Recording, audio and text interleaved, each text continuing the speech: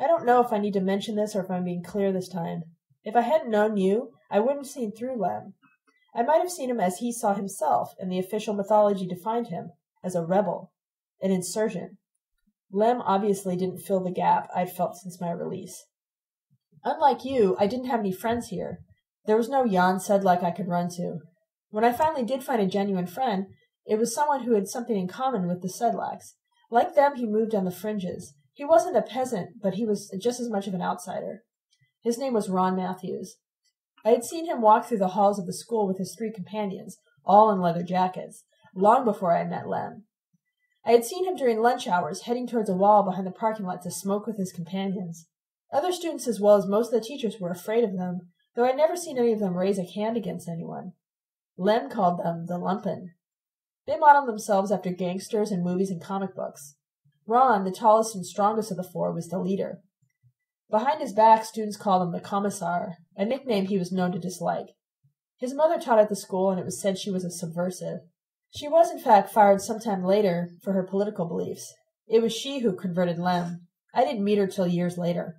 Ron was repeating the first year of high school for the third time. He had left elementary school only because the school's principal had been afraid of him.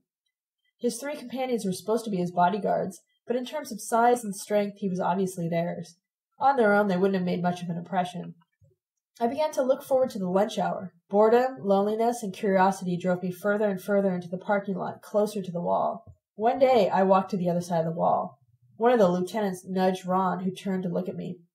Well, well, what have we got over here? Come a little closer, baby, so we can have a better look at you. You want to smoke? While Ron spoke, the other three grinned stupidly. I'm not a baby and I have a name. Let's see, Soap Feet Natural. Is that a name, boys? All three nodded. Okay, Natural. Would you like to join us in the pleasure of smoking a cigarette? He handed me his pack. Thank you, Tarzan. Pleasure is exactly what I came for. I wasn't exactly what role I wanted to play, nor how far I wanted to play it. Hey, we've been wondering about you. If you're smart enough to ace out that wise ass coach, why'd you let him sock you? Because you weren't there to protect me, Superman. So far, so good, but then I tripped. I burst out coughing while he lit my cigarette, and then it became obvious to all four that I had never smoked before. Ron took up the offensive again. Now look at what we're doing, boys, dragging this nice girl across the state line. We're committing the Mann Act. Don't flatter yourself, Muscles. I walked here by myself. What do your boyfriends say about that? He'll say we committed the Mann Act. While we're on the boyfriend, tell us what a nice girl like you wants with a shit on a stick professor.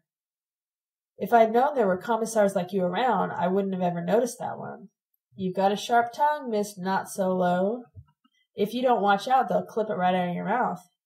They wouldn't dare if you four strong men protected me. Ron laughed. His three cronies just continued to grin. He turned to them and said, You meatheads hear that? She's just contracted us as private dicks. That angered me, and I started to walk away. Goodbye, Tarzan. Thanks for the cigarette. Don't leave yet, baby. We didn't mean that the way it sounded, did we, boys? We ain't even got half acquainted yet. I didn't hear what you meant, Tarzan, and it sounded like goodbye. I continued back away from them. Not so low, baby. You get sore too easy. not sore. Prove it, Natural. How's about meeting me here around midnight tonight? You're too much, Tarzan. You think I'd trust my body to someone who butchers my name? The three bodyguards responded for the first time. They laughed at Ron. I rounded the walls and started back across the parking lot. Ron followed me to the parking lot and shouted, I get it. A nice girl like you wouldn't want to be stuck in an empty lot with a crazy ape that'll rape her and then knife her. You wouldn't want to get stuck at night, but you want to see what the ape looks like in broad daylight, right? That's right, I shouted back. I've never seen an ape before. For an instant before he turned his back to me, Ron looked like an injured child who was going to cry. You bitch, he whispered, kicking the dirt as he disappeared behind the wall. I regretted my last comment. I liked him. Under the mask of the dunce who failed all his courses, I saw a lively intelligence which refused to submit to the school routine. Under the leather jacket and the gang leader's pose, I thought I recognized a genuine rebel, the first one I'd met here. I was hungry for activity that was not part of the official routine. I was hungry for the companion who had not been the cast in one of the standard molds. I longed for you, for the comrades and projects I had left behind. I thought there was a strong resemblance. The form was altogether different. The content seemed the same. I crossed the schoolyard again the following day. With his back toward me, Ron said quietly, as if he were pleading with me, Look, lady, Do us the favor of letting us enjoy our privacy on our own grounds, by which we mean we would like for you to remove yourself from this territory. I apologize, Ron. We would like for you to get out of here, he said, still quietly. I didn't mean what I said yesterday, I told him. He turned towards me. His face was flushed.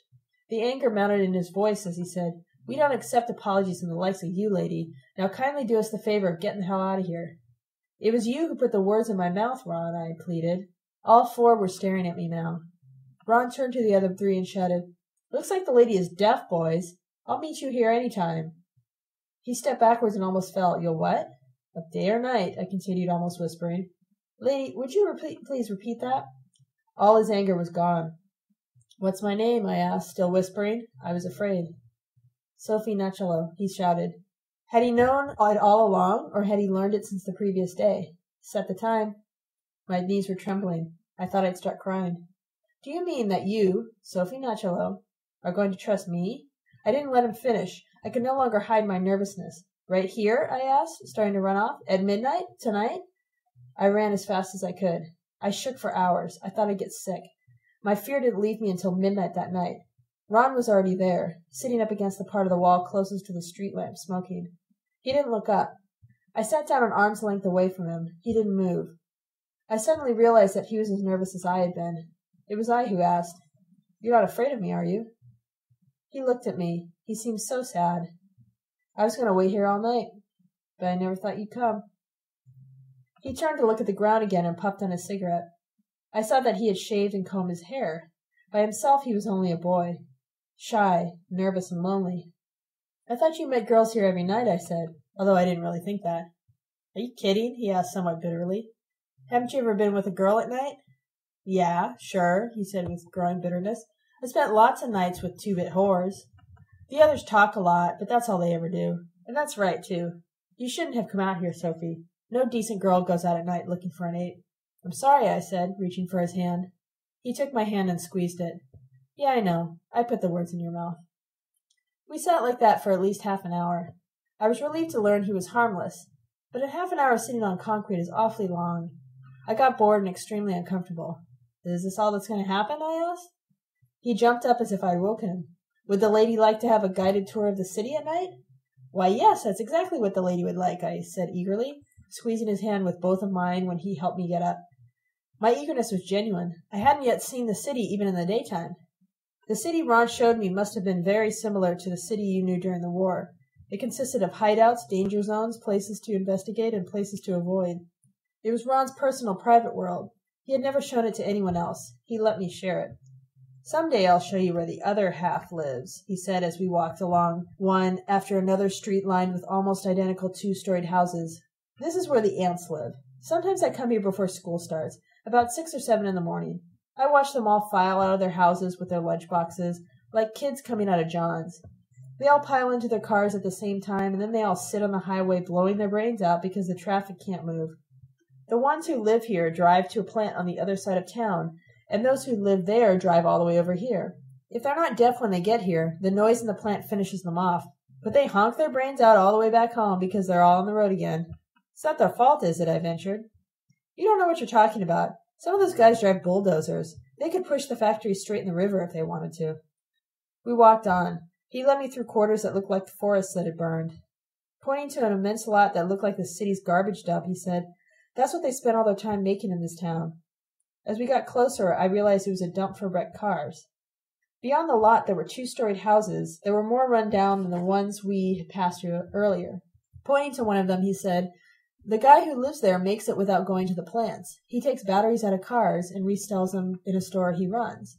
Once I watched him and another guy clean out all the batteries in a parking lot. It's hard fucking work, though. We sat down on the sidewalk. I know the kid next door, too, Ron continued. His old man's a cop. You'd think he'd be onto the batteries by now, but that's not his job. He spends his time patrolling this whorehouse on the other side of town. Downstairs there's a bar where lots of dope is sold. He makes twice as much from the bar as he gets from his job, and they go on a big trip every year. But shit, who wants to be a cop? We sat down and smoked. I asked Ron how he knew these people. He said that he'd lived here before moving near the school. I know this other guy down the street, he said. His old man builds motors. He works in a machine shop, and every day he takes home a small part in the false bottom of his lunchbox. Every six or seven months he's got a whole motor put together. Then he sells it to this place that deals in motors. I used to think that was neat, but now I think he must have his brains up his ass. He could have started his own machine shop twenty years ago and he'd have it made by now. We got up and walked on. The structure on the corner looked like an abandoned railway car. That's what it was. On top was a sign that said diner. That's where my old man hangs out, Ron told me. Mean he eats there? No, he runs it. He flips the eggs and butters the toast from eight in the morning till eight at night, six days a week. He saved for years to buy this dump. He thought it would make him a businessman. Me and my buddies skipped afternoon classes lots of times just so as to get here around noon. That's when it's busy as hell here. Everyone's hollering at him. Lots of them are eating standing. As soon as we go through the door, the hollering stops and everyone looks at us like we're dignitaries or something. My old man gets mad at hell, but it doesn't let on that he's ever seen me before.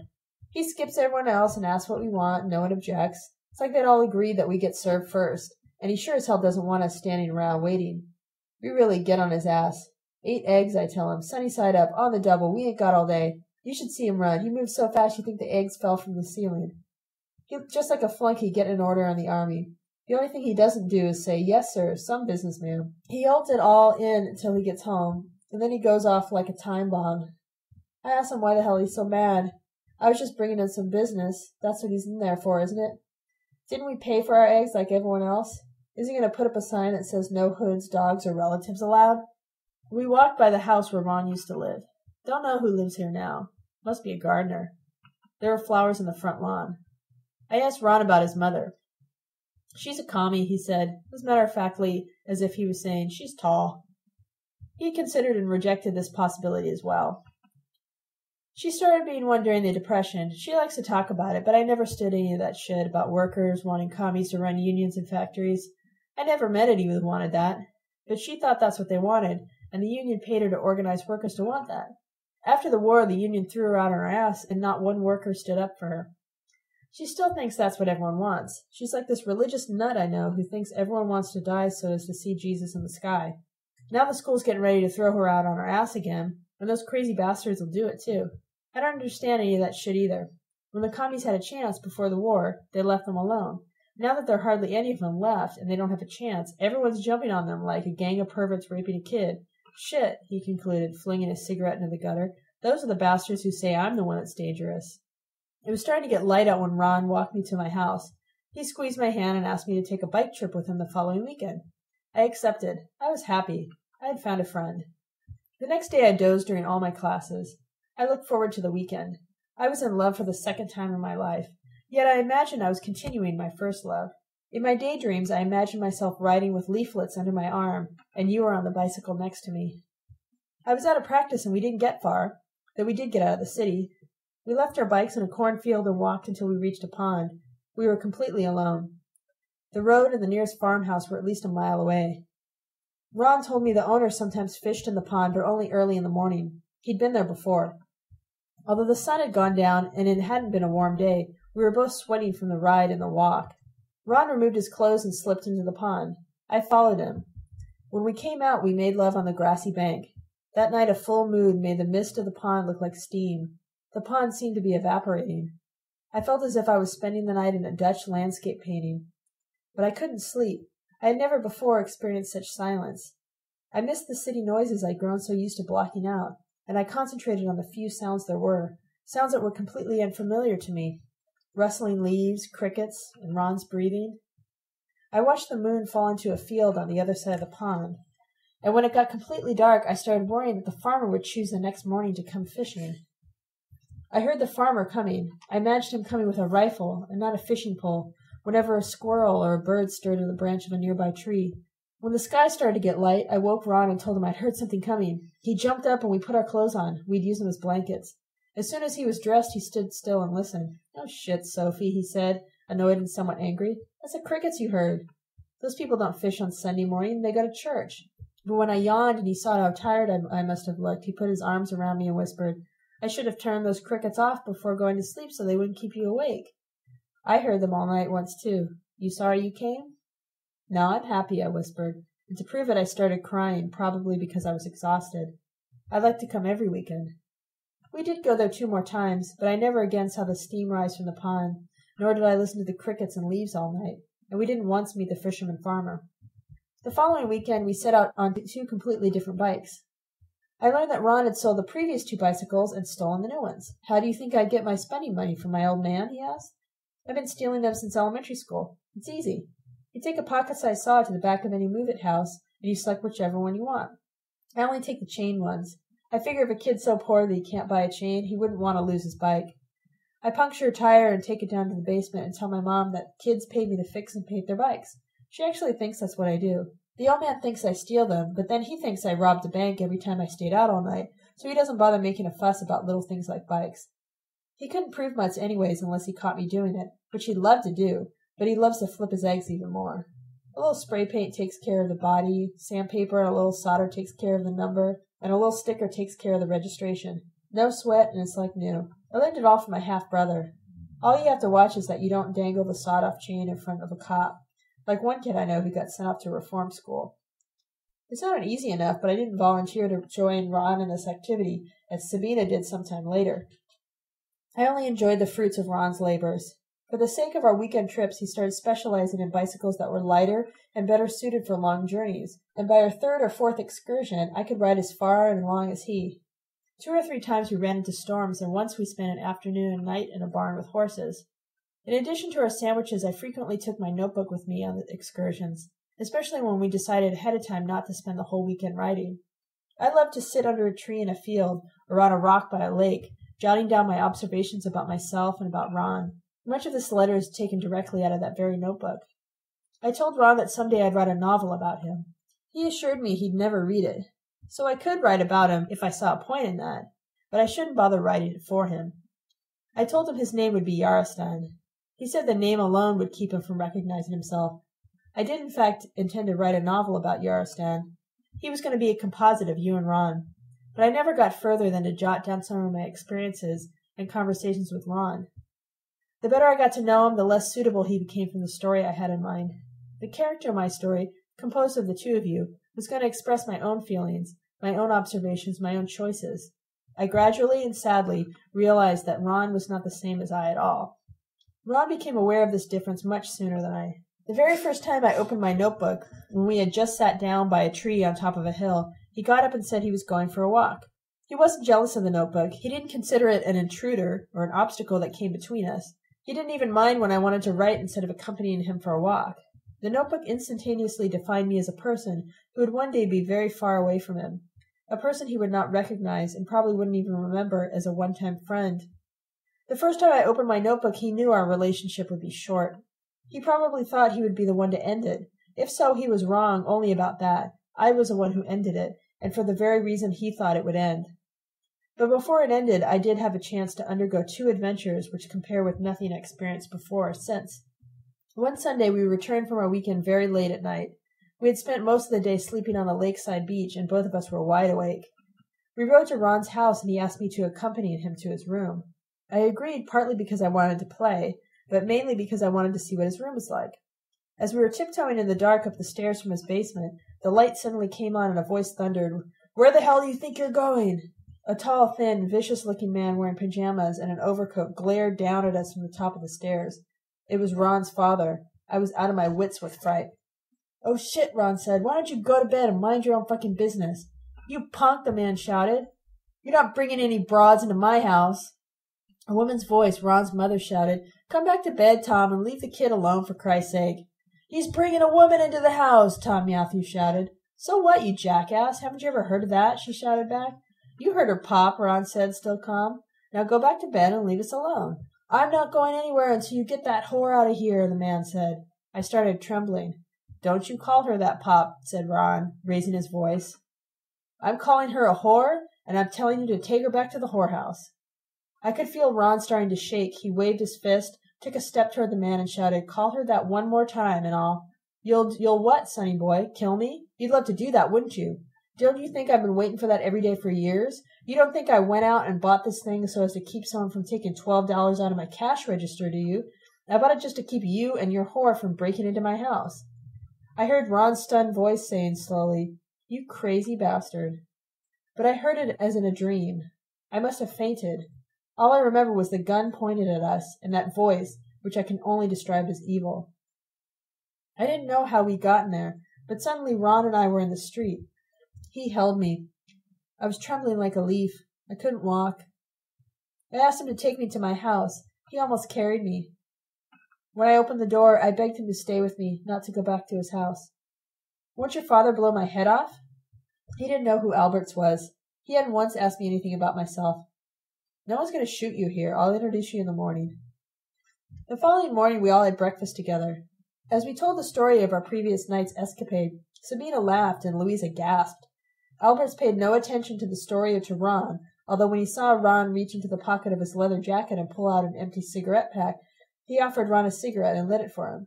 Louisa visibly didn't like Ron. She made no effort to hide her fear of him. Sabina was drawn to him like a needle to a magnet. Ron stayed with us in my room for a week. He didn't go to school, and he left the house only once during school hours when neither his father nor his mother were at home. He brought back three bicycles. That weekend, although both of them acted as if Ron and I were married, Sabina and Ron became good friends, lifetime friends. Their relationship lasted until Ron was killed. We rode to a forest. At night I slept with Sabina. Ron slept by himself. The previous night had been our last night alone together. When we got back, Ron telephoned his mother. Her name is Debbie. She cried all the time she talked to him, telling him she thought he had left for good. She had come out of her room before we had left the house and had seen Matthews pointing the gun at us. She had grabbed the gun, hysterically slapped his face with it, and told him to get out of the house and never come back. Matthews had returned two days later with a gift, begged her forgiveness, and even promised to apologize to Ron. Debbie begged Ron to return and told him the gun had been taken away with the garbage. Ron decided to go home. I experienced my last escapade with Ron shortly after that. He came over on a weeknight and asked us to go riding. We went out expecting to find bikes. He had a car. It's the old man's, he explained. He's all soft on me now. He hands me the keys and says, Here, punk, you want to take your broad for a ride? His imitation was perfect. I believed him. Where were you going to take us? I asked. Where would you like to go? he asked. To the beach, Sabina answered. Ron drove us to the lake. The three of us were alone on the enormous sandy beach. It was a moonlit night. Ron removed his clothes and ran into the water. Sabina ran after him. Hey, Sophie, he called. You coming? I'm cold, I yelled back. Have fun in there. I heard them splashing, shouting, laughing. I looked up at the stars. After a while, I no longer heard them.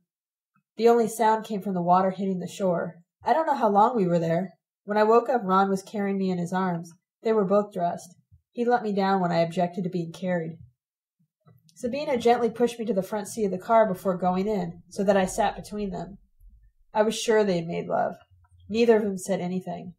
Making a sudden turn off the main road, Ron asked, as if he'd just thought of it, Hey, Sophie, you remember that first night when I told you I'd show you how the other half lives? Well, feast your eyes, 'cause this is where they live. I stared blankly at enormous mansions surrounded by fountains and gardens. The only places like it I'd been before had been museums or public monuments. Here we drove past one after another mansion, each with its own beach and dock. But the last day of my tour came to an abrupt and unpleasant end. Three boys in a sports car drove up to us and cruised next to us. They were obviously residents of the mansions. Ron said, Oh shit, let's get out of here. Those creeps will get the cops on me and I don't have a license. One of the boys shouted, imitating inner city slang, Hey Hood, what you doing with the spare broad? I'm not eating shit from a silver spoon like you, bozo, Ron answered. He pulled into a driveway, turned the car around, and headed back towards the highway. They caught up to us at the light. Where'd you steal that limousine, boy? shouted another one. Sabina stretched herself to the window and shouted, Why aren't you in your baby carriage, mama's boy? To which Ron added, Get that can off the road before I tear it up with my can opener. Ron pulled away at the light, but when the oncoming traffic had passed, they pulled up alongside us, driving on the wrong side of the road.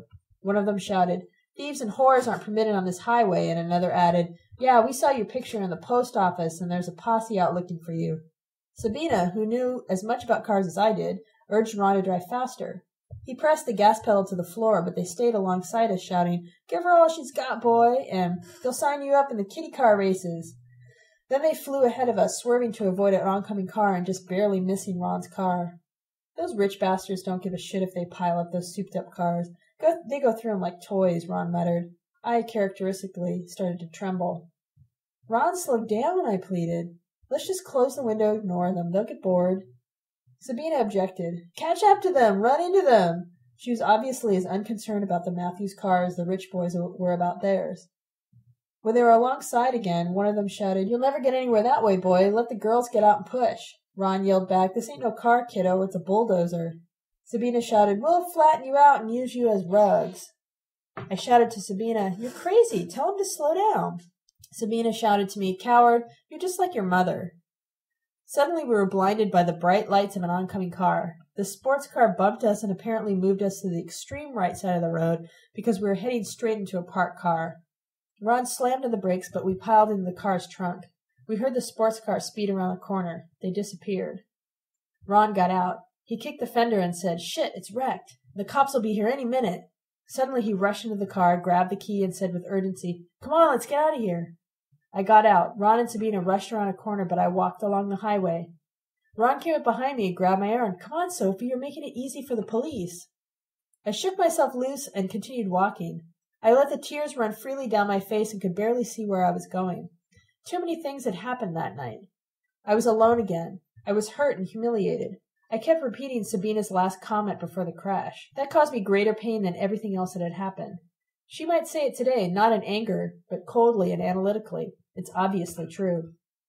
I must have been walking for at least an hour when Ron and Sabina rode up to me on bicycles.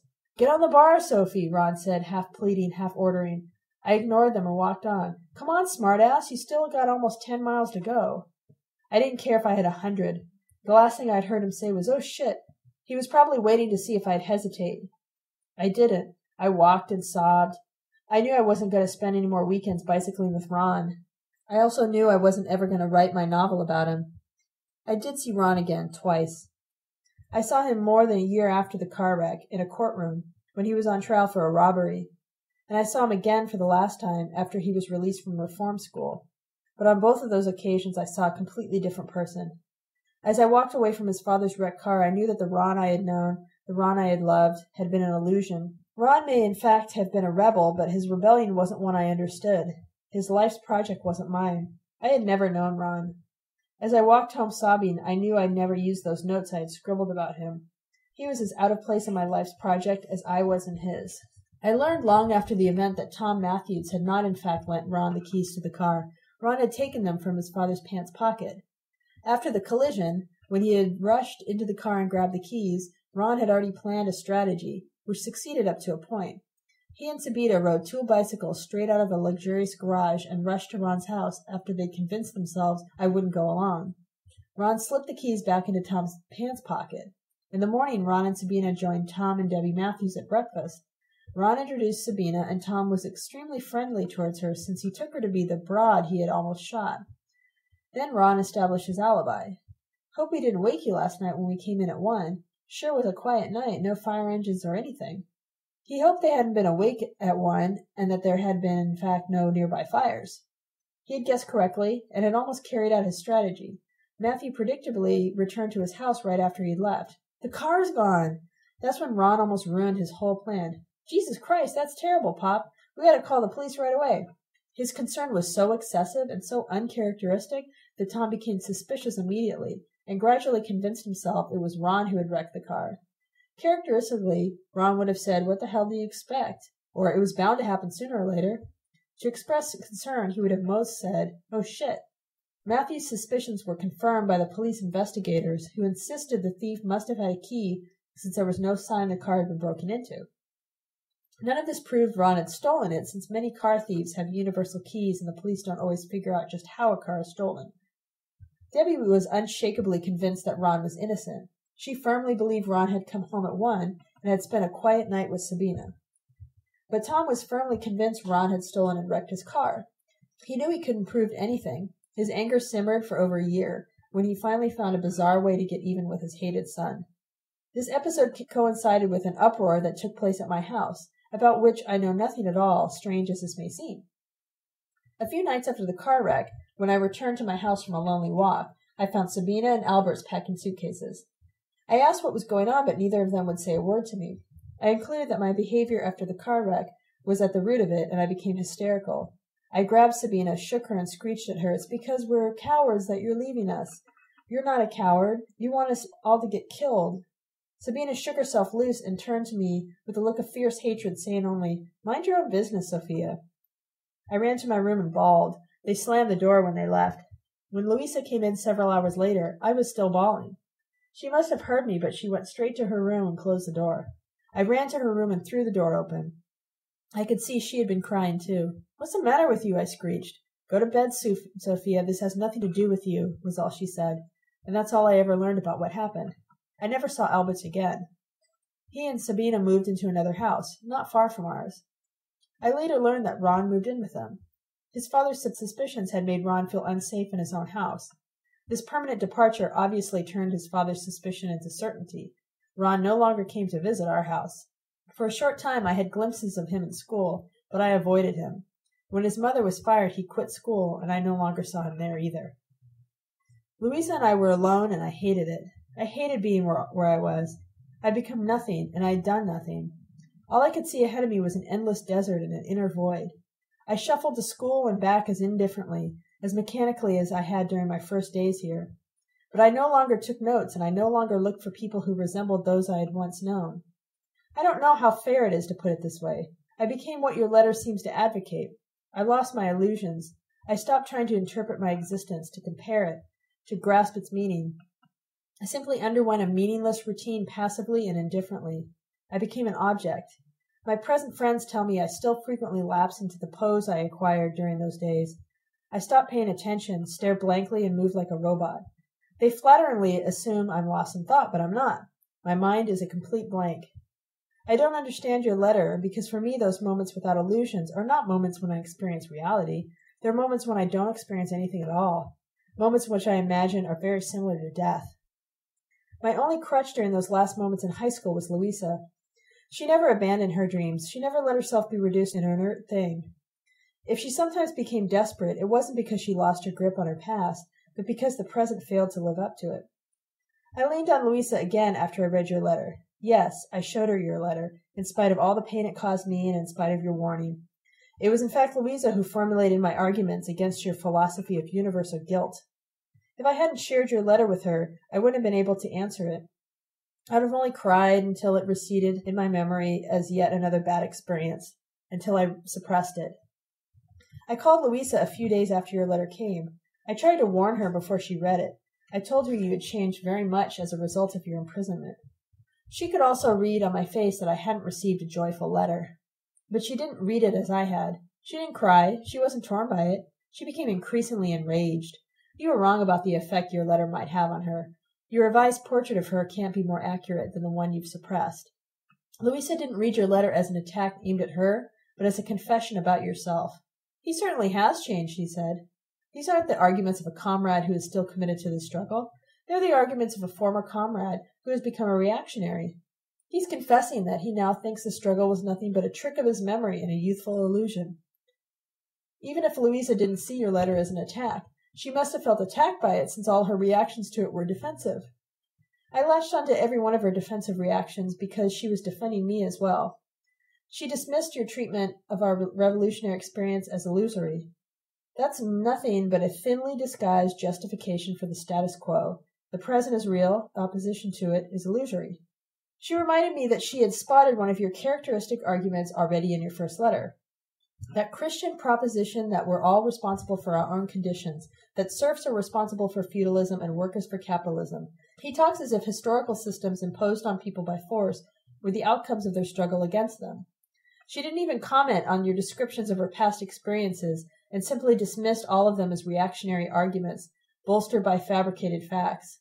He obviously didn't meet any Manuel when he was in prison. Manuel is nothing but a name he gave to his reactionary arguments. In his next letter, he'll tell us he met Jesus in prison. Yarostan had a hard life, haven't we all?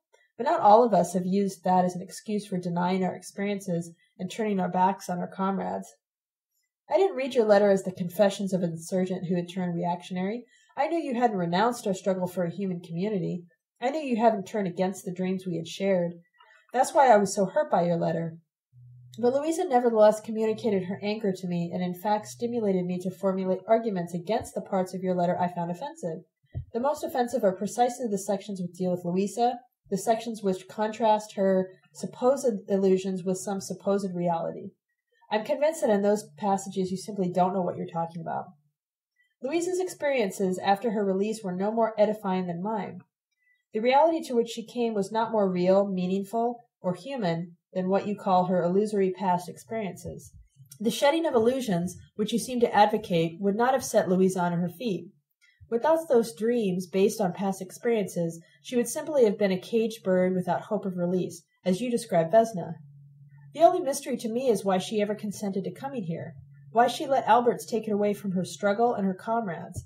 Did she actually hope to find a more meaningful struggle here? Or was Sabina's explanation complete? Did Louisa consent to that flight only because of cowardice, because she feared long imprisonment?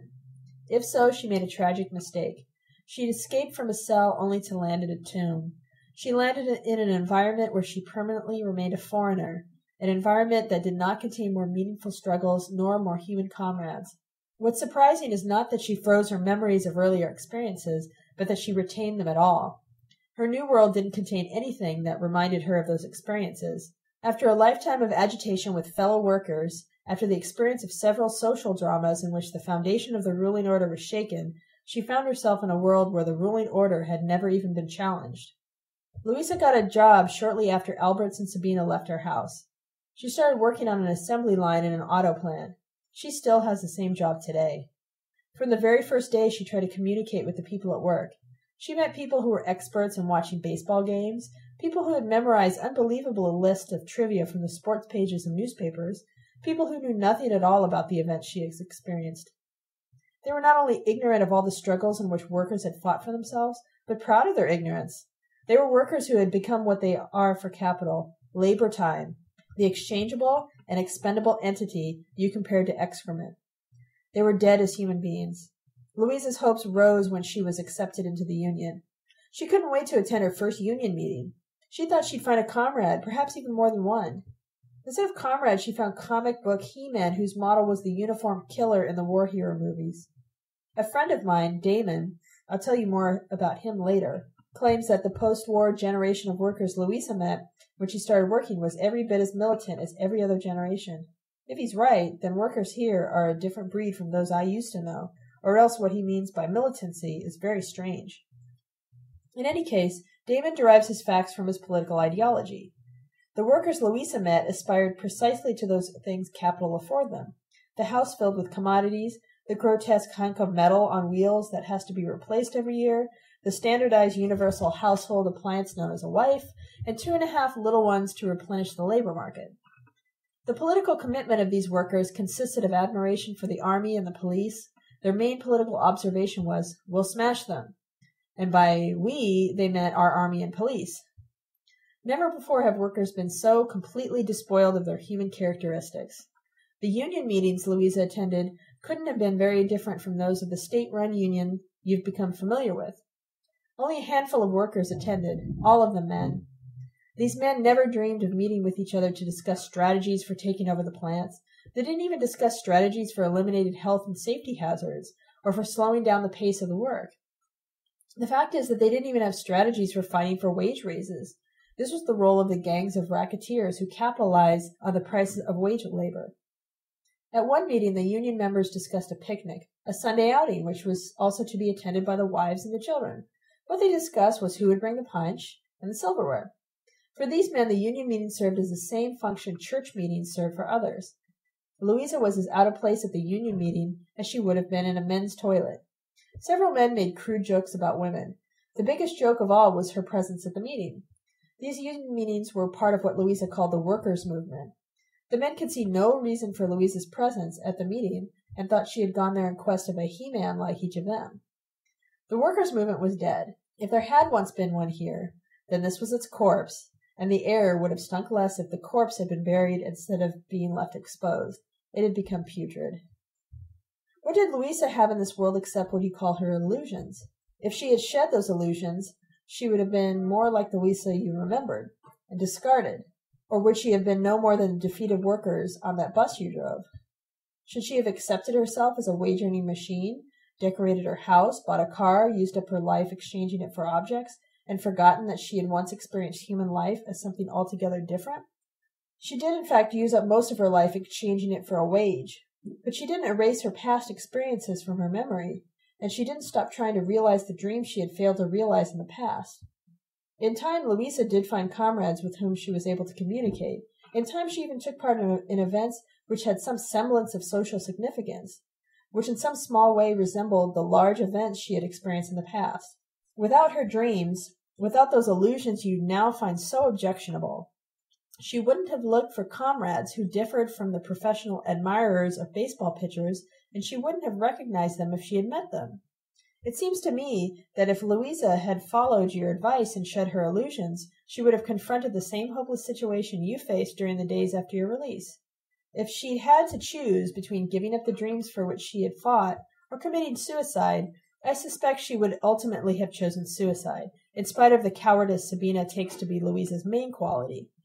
Turning her back on everything she had fought for and yet remaining alive as a mere quantity of labor time, exchangeable for money would have meant remaining alive as a corpse, an entity that no longer has any life in it. The only one of us who lived up to the standards your letter sets up is George Alberts. He shed all his illusions, but I don't really think you would hold him up as any sort of model in spite of the fact that you might feel apologetic because you were once suspicious of him. I can't say when it was that Albert suppressed his dreams or if he ever had any. I was never close to him, I don't know how deep his commitment was when he fought alongside Nachalo, Luisa, and Titus Sabran. I only know that he and Titus helped Luisa escape from that struggle when I was only two.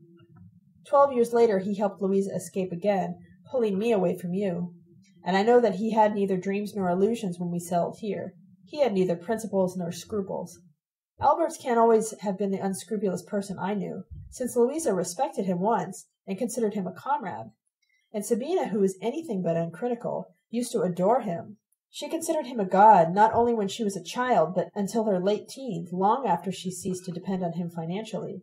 Years after she and Alberts left our house, Sabina mysteriously left him. She hasn't seen him since. I don't know if he suddenly changed or if Sabina suddenly saw him as I had always seen him. Most of what I know about Alberts I learned during the brief period when he lived with us after we got here. He transported Louisa and me like country relatives, like baggage he had left behind. He disposed of us as if he were the one who was responsible for our lives. He lodged us in the house as if we were furniture or exotic animals. He was our keeper. His role was to house, clothe, and feed us. Our role was to cease to be exotic, to learn to behave like the furniture in all the other little houses. Louisa became aware of the nature of her relationship to him almost as soon as we got here. They never touched each other. I don't remember that they ever talked to each other. I really can't imagine how they related to each other earlier. Although Louisa is unwilling to talk about him as Sabina, I think the reason she asked him to leave our house is that she knew what a despicable role model he had played in an event I only learned about years later and only by chance. Alberts had begun his teaching career here during a period of reaction. Individuals who were nonconformists, or had been in the past diverged from the official model, were being fired from their jobs. Our century seems to have outrun all previous epochs in hysterical witch hunts. Subversive teachers were a choice target for inquisitions. In my school, one rumor followed on the tail of another. Every teacher in the school was at one or another time accused of being a subversive. I had known only the outcome. Debbie Matthews and two others were fired. George Alberts continued to teach. Years later, I learned that Alberts had been on friendly terms with the three fired teachers. He had introduced himself to them, continually engaged with them in discussions, and acted as if he had been their friend for years. Yet when the official inquisition began, he characterized each of them in colorful detail and with dossiers of documentation as a person who had daily intercourse with the devil, as a Pied Piper who was pulling school children straight down into hell. He became a Mr. Nonovo, a state agent. He shed all those qualities you call illusions solidarity, comradeship, even sheer decency. He actually did to several people what you say Claude had once wanted to do to him, only Claude failed where Albert succeeded. You tell me Claude and Adrian were suspicious of Alberts, and then you became suspicious too. You pretend that something was wrong with the three of you while nothing about Alberts was strange. You exaggerate. I was suspicious of Titus Sabran and of Alberts as well. They were not among the people I considered my comrades. But this doesn't mean I wanted to jail them. I never in my life dreamed of a situation where I'd have the power to do that. While Louisa was reading the, your letter, she made a crude comment about you. I didn't consider it relevant at the time, but now I think it reveals something else about Alberts. She said, George considered him a hooligan. He was right. Yarostan moves from absolute destruction to absolute acceptance. The two extremes meet because he's moving along the circumference of a circle without ever stepping inside. He's always rejected real struggles. I don't accept Louisa's analysis because I don't think your letter indicates absolute acceptance. What interests me is that Alberts considered you a destructive hooligan. That's revealing because it's exactly what our jailers called us. You think Claude had no reason at all to be suspicious of Alberts?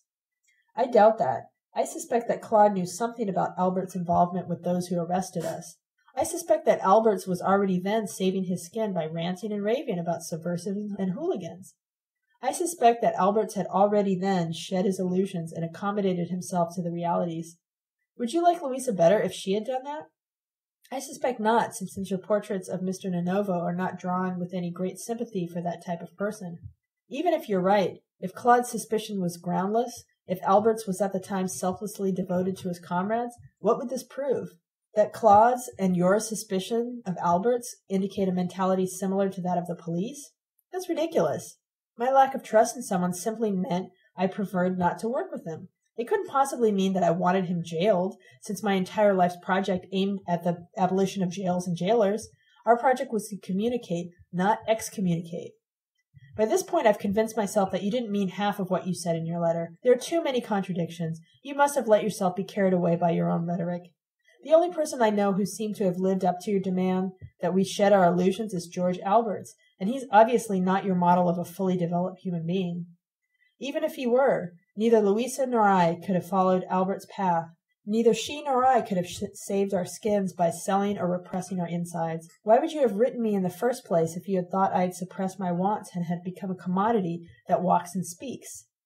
Isn't it enough that the world I live in mobilizes all its forces to suppress my wants and dreams? Why should I let my own will be recruited alongside those forces? Why should I let myself become a mere function of my environment? And why would you want to exchange letters with such a function? The functions are as predictable as they are dull. Shedding our illusions, repressing our wants, forgetting our possibilities. These are the slogans of the ruling order. Coming from you, they sound bizarre. I became a function again a few weeks ago. After all, self repression, even if only temporary, is still the condition of survival in this society.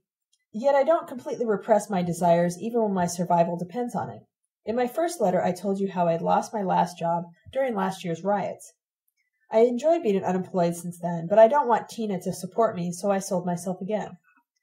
Damon Hesper, a college friend who is now a university professor, told me about an opening for something called a sociology instructor in something called a community college. My job there is to lecture to workers three evenings a week. The whole thing is designed to give people the illusion they're moving while in fact they're standing still. It's like a simulated railway car where the moving scenery is actually a projection on the screen. First of all, I have no idea what sociology is, and I'm convinced it's nothing more than a job classification. Someone is a sociologist the same way someone is a director or a secretary. Secondly, the community college deserves every attribute except community, which is not merely lacking, but is negated by this very institution. Thirdly, the workers who attend my course are precisely those workers whose aim in life is to oppress other workers. In fact, the sole purpose of this activity, euphemistically called adult education, is to provide credentials to aspiring foremen, union bosses, and even managers. The role of the credentials is to give these people an appearance of legitimacy as order givers. The students experience this evening courses as one of Hercules' labors. This is one of the many arbitrary rites which are performed as part of the initiation to a higher rung on an endless ladder. Fourthly, I don't give any lectures. That's my own innovation. The first day I simply sat down and waited like everyone else. When one of the students got up to leave, I asked him if he'd stay if someone else in the room turned out to be the instructor. He didn't answer, but he stayed. I was, of course, suspect number one. Someone else then got up to leave. He was quite determined and quite angry. He said he was going home since the teacher, even if present, obviously wasn't doing her job. I suggested that instead of going home, he should report such a teacher to the school authorities, since he had paid his fee and wasn't getting anything in return. Everyone seemed to agree, so I added, Whenever you see someone who isn't doing his job, you should report him to the authorities.